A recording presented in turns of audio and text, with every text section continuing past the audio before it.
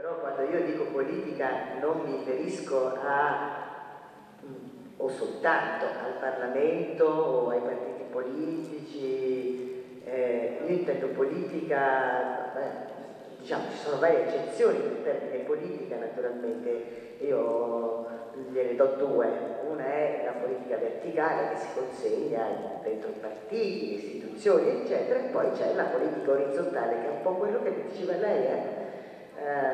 però per la sensibilizzazione come dire eh, è qualcosa che non può essere riservato dire, alla pedagogia, ai buoni sentimenti, eccetera, è per l'appunto questione politica.